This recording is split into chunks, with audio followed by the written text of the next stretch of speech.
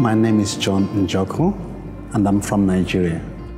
I've lived in Australia for about two and a half years.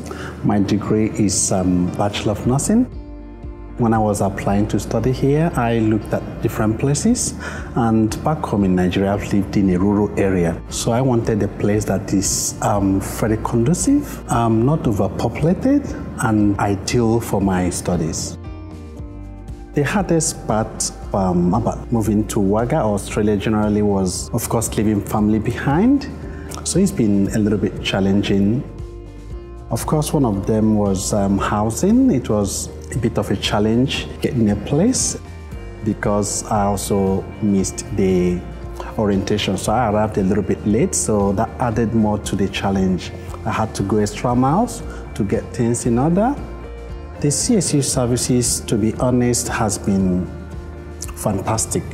Because I missed orientation, it was actually very threatening to me because I, was, I wasn't sure what to expect, where I was going. I was unsettled.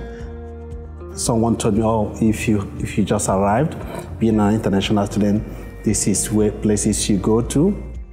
I was able to know um, um, the lecture rooms, um, what lecture was going on, how to organize my timetable, and um, she was able to take me around and introduce me to a few of the lecturers, uh, getting me um, into the system.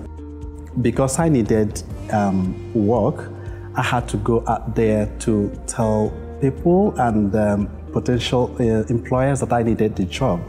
I work with um, Northcott Disability Services, and um, honestly, it is a dream come true for me.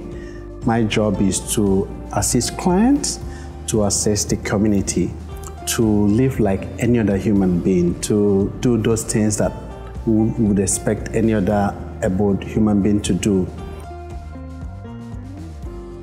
I do work mostly with kids, um, I would say teenagers, and I like to live in the world of the teenagers.